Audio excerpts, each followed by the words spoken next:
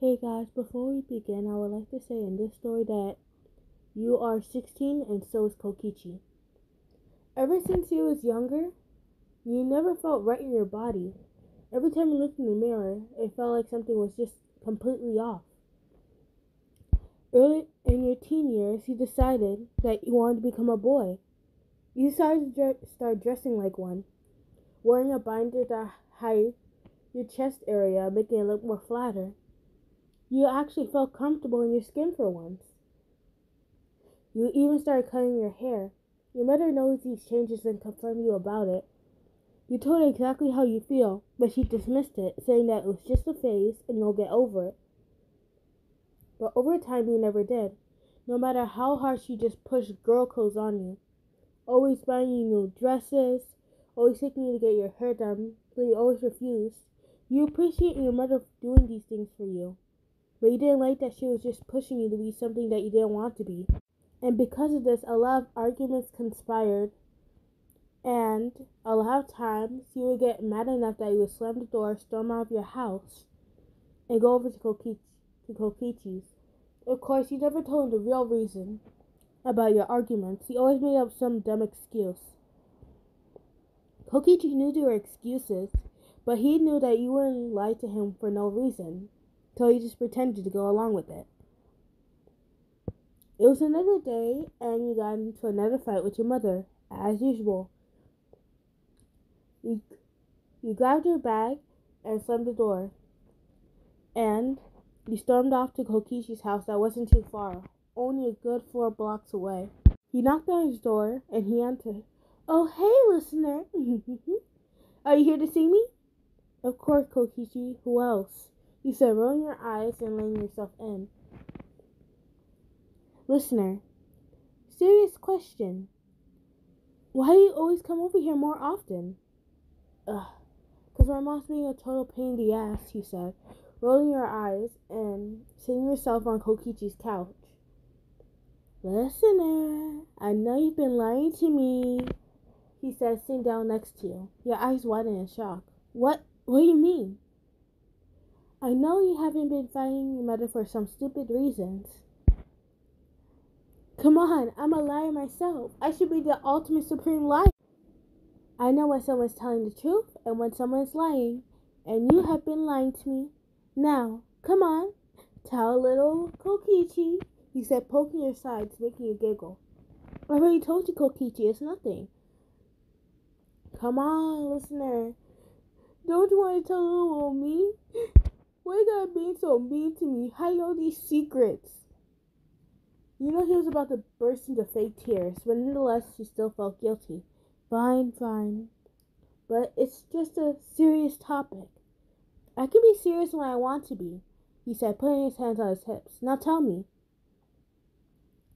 Well, you see that lately my mom and I have been getting in fights with each other because, well, I want to be a boy. You said, looking away shyly, waiting for his reaction. Oh, is all he said before going silent. Well, sure. You looked at him with surprise. That's it? That's all you're gonna say? No why, how? Just sure? Of course, listener, I trust your decision. Plus, it's your own body. I can't do nothing about it. I can't stop you. It's your life. As long as you're not doing anything truly terrible, but of course, if you are, you can always count me in, he said, smirking. He chuckled softly. Thanks, Kokichi. Anyways, I was wondering, can I come over to your house? Uh, I don't know. My mom doesn't really like you that much. Uh huh. You looked at his face. You sighed. Fine. Later on that weekend, you you invited him over for dinner. Your parent, you were sitting at the table with Kokichi, you, and your mom. Eventually, your mom was starting to piss off Kokichi. Every time she talked about you, she used she terms instead of he terms. You expressed to her over and over again that you want to be called, you want to use the pronouns as he or them, he or they. Sorry, I messed up. But she repeatedly used the she or her. Every time she did this, Kokichi corrected her. Sorry, ma'am, to interrupt you, he said in a sarcastic voice. But it's he, not she, he said. Your mom looked irritated but kept talking. Well, she, it's he. Eventually, these two were just staring at each other across the table. The tension was so thick it could cut it with a butter knife. Hashtag amazing gumball. Amazing world of gumball reference. C- come on, Ki- Kokichi, let's go. You better get this rat out of my house, your mother said. Mom, don't call him that. He's just offending me. At least he has more respect for me than you do. Whatever. Your mom just sighed. Come on, listener. Let's go out for a little bit. You are not going anywhere with him. Your mom said, turning around. What do you mean? Young lady, get back here. No.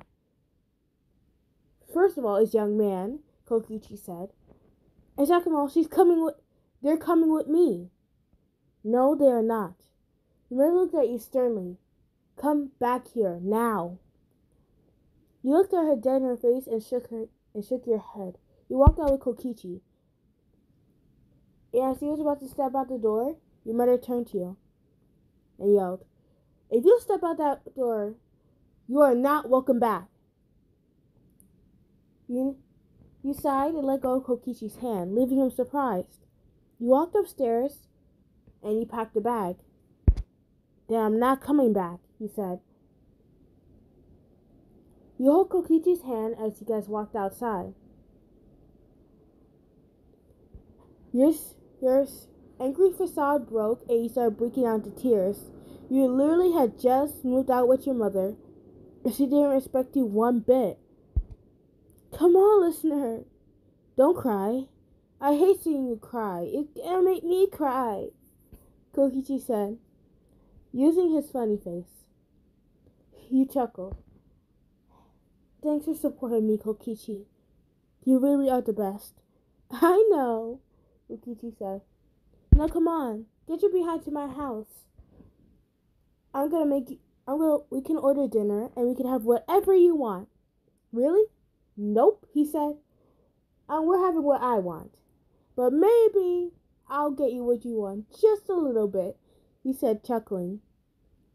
All right, all right, Kokichi, I'm coming, he said, following him down the street back to his house. Hey guys, sorry this one was kind of messy. So you see that uh, I did have a script. I did make a script for this one, but you see, I have a little brother, so you know, the script is gone. Anyway, sorry this video took so long. I was sick. Like I said in my recent post, I still am sick, but I'm feeling just a little bit better just to post this. But anyway, so I took enough of your guys' time. Have a great day or night wherever you guys are, and I'll see you in the next video. Bye, guys.